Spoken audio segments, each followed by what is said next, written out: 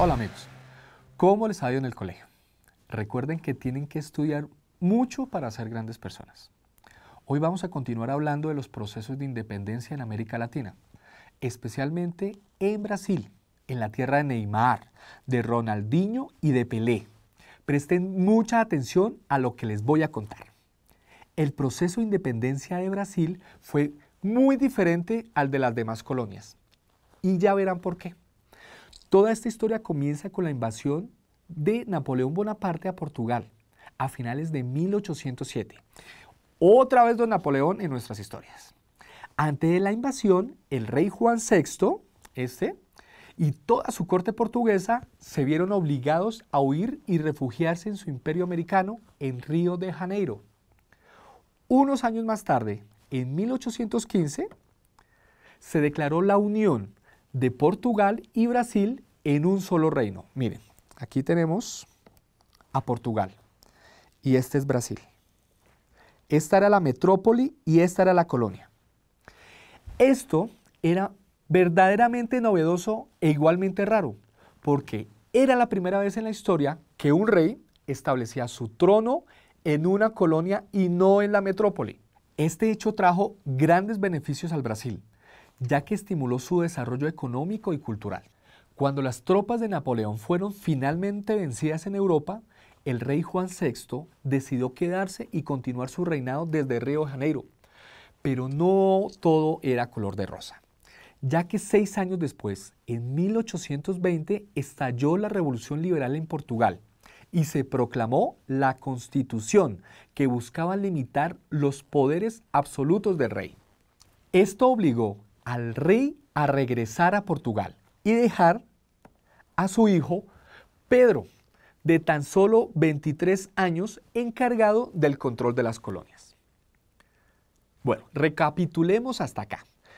Debido a la invasión de Napoleón a Portugal, el rey y toda su corte se trasladaron a Río de Janeiro, en Brasil. Desde allí reinó por algún tiempo sin ningún tipo de complicación y Brasil adquirió mucha importancia. Años más tarde, cuando Napoleón fue vencido, al rey Juan VI le tocó regresar a Portugal y dejó a su hijo Pedro encargado del gobierno de las colonias. Hasta ahora, todo claro. Listo, podemos seguir.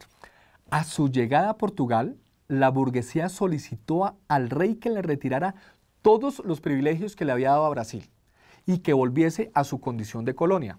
Al mismo tiempo, en Brasil comenzaron los problemas, ya que se produjo una división. En una esquina estaban los partidarios de mantener el sistema del momento que favorecía a los comerciantes, en especial a los dedicados a la trata de esclavos. Aquí tenemos en esta esquina a los partidarios de mantener el sistema. En la otra esquina estaban los liberales radicales, partidarios de un régimen republicano. Y aquí tenemos en la otra esquina a los liberales radicales. Ante esta situación, el príncipe Pedro se alió con los nacionalistas de Brasil y después de una revuelta conocida como el Grito de Piranga, se proclamó la independencia el 7 de septiembre de 1822, bajo la frase Independencia o muerte. En octubre del mismo año, Pedro I fue nombrado emperador constitucional y perpetuo defensor del Brasil. Pero como siempre sucede, no todo podía estar bien. En abril de 1831 se presentaron algunas diferencias entre el monarca y los sectores más liberales de la sociedad brasileña. Esto ocasionó que estallara una revolución popular en Río de Janeiro, lo que obligó a Pedro I a abandonar Brasil y dejar a su hijo, Pedro II, encargado del trono, hasta que alcanzó su mayoría de edad. Proclamado emperador del Brasil, Pedro II gobernó por casi 50 años. Él se destacó por ser un monarca emprendedor y progresista como su abuelo Juan VI. Gracias a esto llevó a cabo importantísimas obras que condujeron al Brasil a una época de desarrollo y de gran prosperidad. Algunas de sus principales obras fueron, hizo de Brasil una monarquía constitucional con el respeto pleno a las libertades y derechos ciudadanos. decretó la libertad de los esclavos negros y fomentó la inmigración europea, o sea que la gente que estaba en Europa se fuera a vivir a, a Brasil. Otra, modernizó la explotación de la riqueza azucarera. Recuerden que la principal actividad económica de Brasil era la caña de azúcar. Decretó la libre navegación en el río Amazonas para que todas las naves del mundo pudieran navegar en él.